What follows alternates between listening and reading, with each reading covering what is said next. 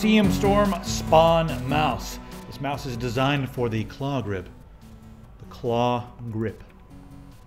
There you go.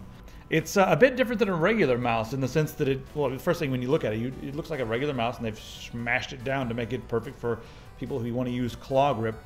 So before I even get into the specs, let's talk about the dimensions of this. It's 107 millimeters long by 75 millimeters wide by 35 millimeters high, and the uh, cable length two meters, and we've got a gold-plated USB. Feels really nice. Like it's got rubberized coating everywhere, and um, I want to note that the rubberized coating really doesn't show fingerprints. You can kind of just handle this thing, and I don't see any fingerprints anywhere.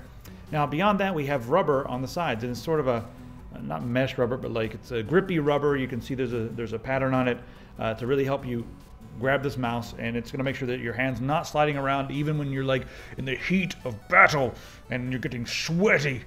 You sweaty person and you're like slipping and sliding everywhere. Well you're not going to have to worry about your hands moving around because the you know the rubber on the sides is really nice and firm.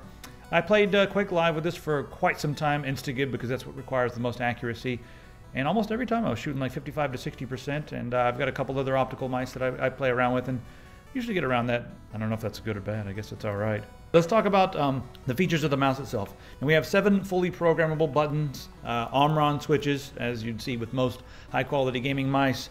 Uh, and then we have a Japanese built scroll wheel. Nice click in the scroll wheel as well. On the side of the mouse here where your thumb goes, we have uh, a couple buttons. You know, you can map them to anything you want in the software. It's got onboard memory. You've got 32 kilobytes of onboard memory, so all your configs will go with you. While you're on the go, they go with you we have an Avago ADNS 3090 sensor, and that's capable of 3500 CPI max.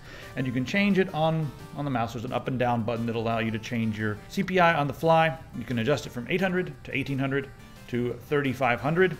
And there is no negative or positive acceleration whatsoever. On the bottom, it does have a nice smooth glide to it. It's got glider X feet. To me, they look like polytetrafluoroethylene, but I'm not sure. It doesn't say on their website if it is. And I don't have any laboratory tests here to figure out if it is PTFE or not. The uh, max acceleration on this is 20 Gs. Polling time is 1 millisecond, and the tracking is 60 inches per second. That's the maximum tracking speed. That's uh, 6400 FPS. It's frames per, frames per second image processing. One other thing I want to point out this does not have a braided cable. And um, for a mouse that is a performance mouse that is made uh, for people who may be competing, I actually prefer this. Uh, sometimes a braided mouse can create drag, especially on different surfaces. It can get caught on things easier. This is lighter weight, uh, still, you know, good quality. Um, and um, yeah, it's not gonna create as much drag. What's gonna be the main thing for a lot of you guys is the size and shape of it. If you're someone that's, you know, claw gripping your mouse, you're probably gonna grab this and, and never go back to any other mouse. It's just you grab it and be like, yeah, this is my claw grip mouse. My grip is somewhere in between claw and palm grip, but I did find this to be extremely comfortable. Um, as far as my main rig goes, I don't know. I may use it, I may not use it. It's definitely going to be, it's, it's nice and small, so it's going to be with me every time I travel. I'm getting one of these just for traveling. And this is the mouse that we're going to use for our uh, upcoming editing rig build. I grabbed this. Uh, we had like the, you know, the power supply and the case from Cooler Master, and I was like, you know what? I'm just going to go ahead and grab a keyboard and uh, this mouse, because I've been dying to play with this mouse. And I, now that I've got it in my hands, I did not realize like when I saw it, you know, online, I was like, it's red. It's probably not going to be that nice because it's red. It's weird. I don't like things that are red. Uh, all in all, I do recommend this, especially if you're someone who likes claw grip. So check out the CM Storm Spawn. Do it.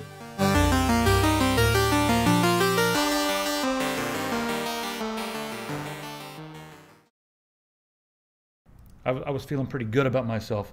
And I'm not sure if it was just the caffeine in my system for, or if it was the mouse, but well, you know, we can blame it on the mouse just for the sake of the video, right? Right? Can't we do that? Can we do that? No.